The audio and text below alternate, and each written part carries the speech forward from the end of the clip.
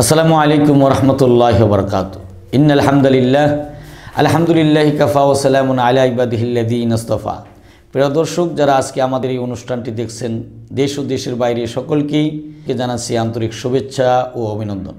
প্রিয় দর্শক, আজকে যে বিষয়টি নিয়ে আপনাদের সম্মুখে হাজির হয়েছি, আর তা হলো যে একেবারে উলঙ্গ হয়ে স্বামী স্ত্রী সহবাস করতে পারবে কিনা, মিলিত হতে পারবে কিনা, এটা অত্যন্ত একটি গুরুত্বপূর্ণ বিষয়। প্রিয় দর্শক, আল্লাহ সুবাহান হুয়া তালা একটা নারীকে, একটা স্বামীর জন্য যখন হালাল করে দেন, তখন তার পার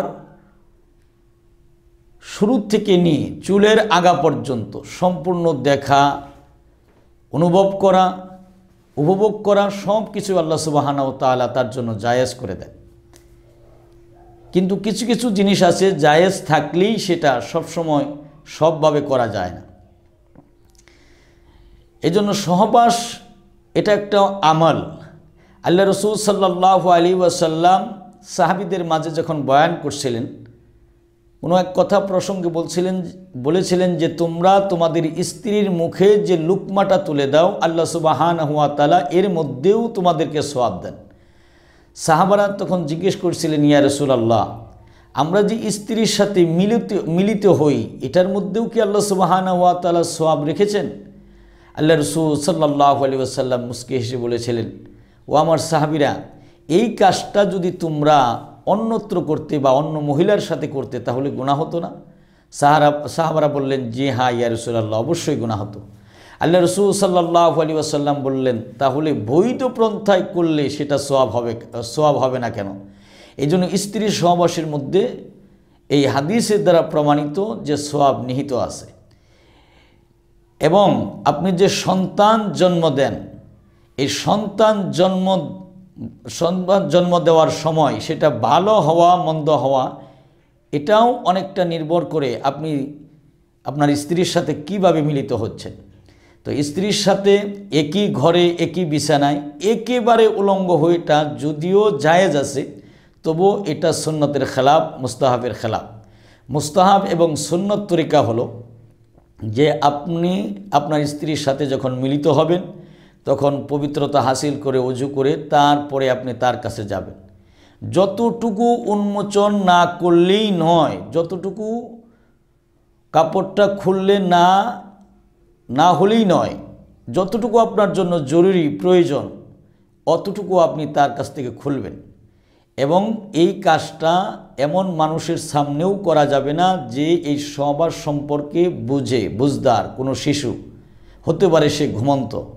ঘুমন্ত অবস্থায়ও এমন শিশুর সামনে এই কাজগুলো করা যাবে না যে এগুলো অনুভব করতে পারে। এটা সুন্নতের খেলাফ। এখানে নিষেধ করা হয়েছে। আর একেবারে উলঙ্গ হওয়াটাও সুন্নতের খেলাফ। এই কারণে বলা হয়েছে যে আপনি যদিও বৈধ প্রন্থায় আপনার স্ত্রীর সাথে মিলিত হচ্ছেন, কিন্তু একেবারে উলঙ্গ হয়ে যাওয়ার কারণে ব্যয়পনাটা বেশি হয়ে যাওয়ার কারণে, এখানে শয়তান আপনার কাজের সাথে সংযুক্ত হয়ে যায়। আল্লাহ রসুল সাল্লাহ আলী ওয়াসাল্লাম ফরমান, যে কোনো কাজ সেটা যদি সুন্নতের খেলাফ হয় এত্তেবায়ে সুন্না না হয়, তাহলে সেখানেই শয়তান লাভবাহিক করে হাজ, লাভবাহিক বলে হাজির হয়ে যায়। এই জন্য স্বামী স্ত্রী মিলনের সময় যদিও সম্পূর্ণ উলঙ্গ হয়ে যাওয়াটা জায়েজ আছে, কিন্তু সেখানে আপনার শয়তান যাতে আপনার সাথে শরিক না হয়ে যায়, অংশগ্রহণ না করে, সেটা খেয়াল রাখতে হবে।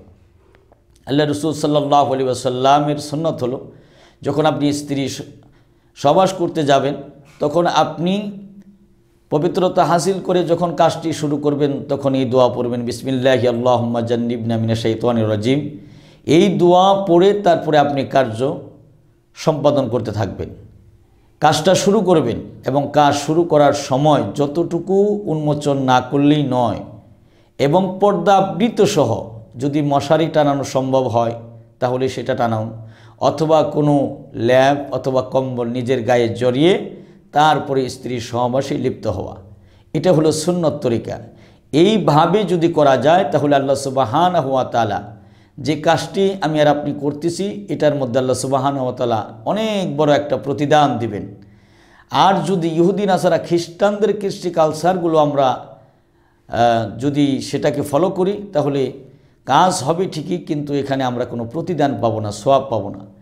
এই জন্য প্রিয় দর্শক, আমরা এই বিষয়টা গুরুত্ব সহকারে দেখার চেষ্টা করব যে আমরা যখনই স্ত্রীর কাছে যাব, তখন আল্লাহ রসুলের সুন্নত এবং মুস্তাহাব তরিকাগুলো ফলো করে সেগুলো জেনে, বুঝে তারপর আমরা স্ত্রী সহবাস করার জন্য চেষ্টা করব।